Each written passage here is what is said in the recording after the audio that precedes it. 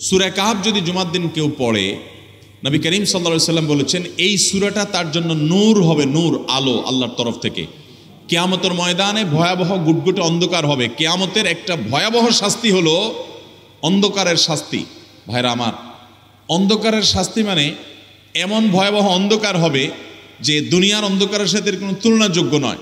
সেই ভয়াবহ অন্ধকারে কিছু আমল আছে, যে আমলগুলো মানুষের ওই অন্ধকারের মধ্যে আলোর কাজ দিবে। এর এক মধ্যে একটা হলো অজুর অঙ্গগুলো যদি কেউ ভালো করে অজু করে, সুন্দর করে ডুলে ডুলে যেন শুকনা না থাকে, উত্তম রূপে যদি অজু করে কেউ, পানি অপচয় না করে। পানি অল্প নয়, কিন্তু ডলে বেশি। সুন্দর করে যদি কেউ অজু করে, এই অজুর অঙ্গগুলো কেয়ামতের ময়দানে উজ্জ্বল হয়ে জলজল করে জ্বলতে থাকে এবং তার জন্য আলোর কাজ দেয়। সবাই যখন অন্ধকারের আজাবের মধ্যে নিমজ্জিত থাকে হাউতাস করে, তখন এই ব্যক্তির এই আমলটা তার আলো ভূমিকা আসে।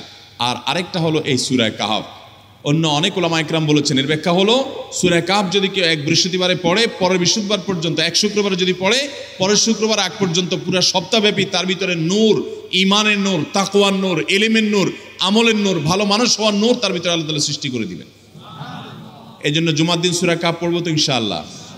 আলহামদুলিল্লাহ, ভাই, আপনাদেরকে যে আমলগুলো করছি, এগুলো আমি আমার পরিবার, পরিবারের সদস্য, পরিচিত, সহকর্মী, আমি চেষ্টা করি সবাইকে স্মরণ করানোর এবং আমল করার। চেষ্টা করি। আপনাদেরকেও বলছি ভাই, জুমার দিন যেহেতু, অতএব আজকে জুমার দিন উপলক্ষে বলে যাচ্ছি। জুমার দিনের এই চোদ্দ পনেরোটা আমলের মধ্যে সামারি করে আমি পাঁচটা আমল করে দিচ্ছি যে এগুলোর গুরুত্ব অনেক বেশি অন্য অনেকগুলো চাইতে। এগুলো বিশেষভাবে করব। তাহলে এর মধ্যে প্রথমটা চলে গেল, দুরুদ বেশি বেশি করে পড়ব। দ্বিতীয়টা হলো জুমার দিনের ফজর নামাজ কোন অবস্থাতে জামাতের সাথে পড়া মিস করব না? কারণ নবী সাল্লাহ সাল্লাম বলেছেন, সকল নামাজের মধ্যে সবচেয়ে সেরা, উত্তম শ্রেষ্ঠ নামাজ, অর্থাৎ ওয়াক্তিয়া নামাজের মধ্যে সবচেয়ে শ্রেষ্ঠ নামাজ হলো জুমার দিনের ফজরের নামাজ জামাতের সাথে পড়া। তাহলে মহিলারা কি করবে? মহিলারা পুরুষদেরকে উঠায় উঠায় মসজিদে পাঠিয়ে দিবে এবং সহযোগিতা করবে। তাহলে তার মাধ্যমে তারাও একই সব পেয়ে যাবে। আর তিন নম্বর আমলে বলেছিলাম সুরায় কাহাফ এটা নারী পুরুষ সবাই করবে, বেশি বেশি করে। ঠিক আছে তো ইনশাল্লাহ আমরা অনেক ভাই আছি সপ্তাহের ছয় দিন আমাদের কোরআন পড়ার সুযোগ হয় না। তো অন্তত জুমার দিন সুরা কাহাবটা যদি আপনি বাধ্যতামূলক করেন আলহামদুলিল্লাহ, এটা অনেক বড় সুরা। পড়তে আপনার বিশ, পঁচিশ মিনিট, ত্রিশ মিনিট সময় পর্যন্ত লেগে যাবে। আপনি আধা ঘণ্টা সময় ধরে যদি আস্তে আস্তে সুন্দর করে পড়েন, তো সপ্তাহে একবার অন্তত কোরআনের সাথে আপনি সময় দিলেন। আরেকটা সুসংবাদ শুনেন সুরায় কাহাব যদি কেউ মুখস্থ করে, তেলাওয়াত করে, নিয়মিত বিশেষ করে বিশেষ করে সুরা কাহাফের প্রথম দশটা আয়াত যদি কেউ মুখস্থ করে, নবী করিম সাল্লাহ সাল্লাম বলেছেন কেয়ামতের আগে দাজ্জালের যে ফেতনা আসবে, যেই ফেতনায় বহু মানুষ দাজ্জালকে আল্লাহ মনে করে বেইমান হয়ে জাহান্নামে যাবে, এই ফেতনা থেকে পৃথিবীতে এমন কোনো নবী ছিল না, এমন কোনো রাসুল আসেন নাই। এই মানব ইতিহাসের প্রথম প্রথম মানুষ আদম আলাইসাল্লাম থেকে নিয়ে আমাদের মোহাম্মদ সাল্লাহ সাল্লাম পর্যন্ত এই লক্ষ লক্ষ যত নবী রাসুল এসেছে, সমস্ত নবী রাসুলরা একটা ব্যাপারে সাবধান করে গেছেন, দাজ্জাল আসবে, যে দাজ্জালের হাতে পাওয়ার থাকবে এত বেশি, অলৌকিকত্ব থাকবে এত বেশি, সে মরা মানুষকে জিন্দা করে ফেলবে। জিন্দা মানুষকে বলবে, সে মরে যাবে, তার হাতেই সব কন্ট্রোল কন্ট্রোল কন্ট্রোলিং পাওয়ার থাকবে দুনিয়ার সমস্ত রিজিক তার হাতে কক্ষিগত থাকবে, এমন পাওয়ার থাকবে, তাকে দেখে মানুষ বলবে হ্যাঁ এই তো আল্লাহ, এই তো সব কিছু পারে বেইমান হয়ে যাবে। এই দাজ্জালের ফেতনায় তোমরা পড়বা না, বেঁচে থাকবা, বুদ্ধি দিয়া, বিবেক দিয়ে মানুষ বাঁচতে পারবে না। দাজ্জালের ফেতনা থেকে বাঁচার জন্য সকল নবী রাসুলরা এই জন্য সাবধান করেছেন। আমাদের নবী সাল্লাহ সাল্লাম নামাজের শেষ বৈঠকে দোয়া মাসুরের জায়গায় একটা দোয়া পড়তেন আল্লাহ আউজু কেমন আজাবিন নার। ওয়া আজাবিল কবর, ওয়া আউজুবিকা মিন ফিতনাতিল মাহিয়া ওয়াল মামাত, ওয়া আউযুবিকা মিন শাররি ফিতনাতিল মাসিহিদ দাজ্জাল। আল্লাহ আপনার কাছে দাজ্জালের ফিতনা থেকে পানা চাই। সাড়ে চোদ্দশো বছর হয়ে গেছে, এখনও দাজ্জালের আবির্ভাব হয় নাই, হবে কেমতের আগে। কখন হবে আল্লাহ ভালো জানেন? কিন্তু নবী সাল্লাহ সাল্লাম বলেছেন, সুরে কাফের প্রথম দশায় আর যদি কেউ মুখস্থ করে, তো এই ব্যক্তিকে আল্লাহর করে এই ব্যক্তিকে আমলের মাধ্যমে দাজ্জালের ফেতনা থেকে আল্লাহ বাঁচিয়ে রাখবেন।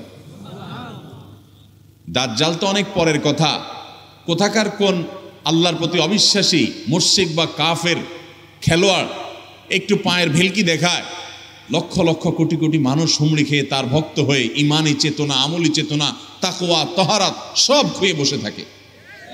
আর সেখানে দাজ্জালের মতো এরকম মিরাকল, সব মিরাকল তার হাতে থাকবে। এরকম পরিস্থিতি যখন আসবে, তখন মানুষ কি করবে? এখন এই যে তথ্য প্রযুক্তির উন্নতির এই সময়ে কত মুসলমানের সন্তান বেইমান হয়ে যাচ্ছে, বিজ্ঞানরাই তারা আল্লাহ বানায় বসে থাকতেছে। আছে না নাই?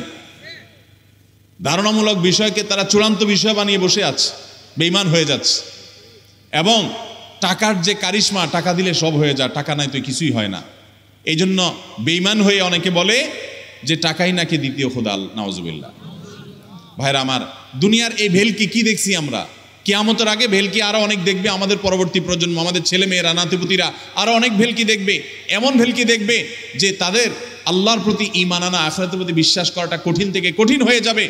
এরকম পরিস্থিতি তৈরি হবে দুনিয়াতে। তথ্য প্রযুক্তির উন্নতির নাম দিয়ে, এটার নাম দিয়ে, সেটার নাম দিয়ে মানুষের জীবনযাত্রা সহজ হবে।